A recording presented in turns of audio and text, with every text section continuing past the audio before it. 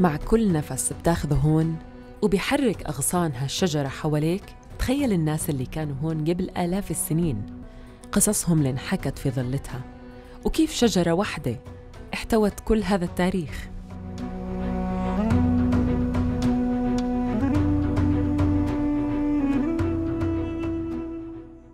هاي الشجرة المباركة اللي استظل فيها أشرف الأنبياء والمرسلين سيدنا محمد صلى الله عليه وسلم. خمس معلومات مهم تعرفوها عن هاي الشجرة.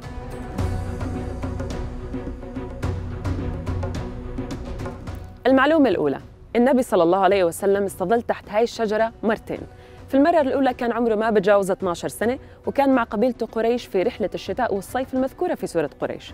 في المرة الثانية كان عمره 25 سنة في تجارة السيدة خديجة بنت خويلد رضي الله عنها.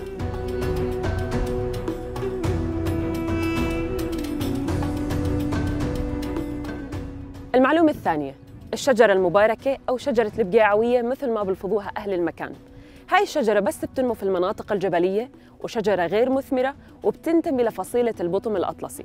قطر جذعها 90 سنتيمتر ارتفاعها يصل ل 11 متر تغطي مساحة 50 متر ومحيطها 283 سنتي.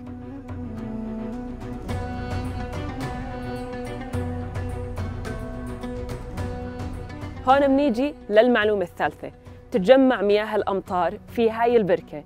وبتضلها لمدة ثلاث أشهر كاملة. تعطي رطوبة للمكان وبتخلي هاي الشجرة عايشة.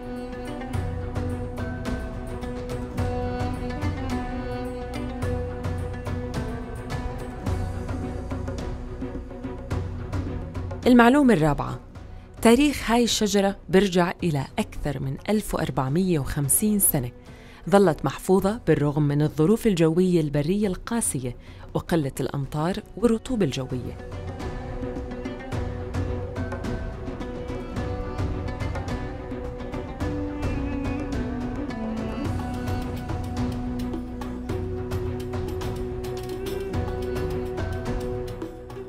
المعلومة الخامسة. حوالين هاي الشجرة من الجهات الأربع في آثار مختلفة كونها تقع على طريق التجارة القديم. في مسجد في آثار إسلامية وفي آثار مسيحية بتأكد على أهمية هذا المكان.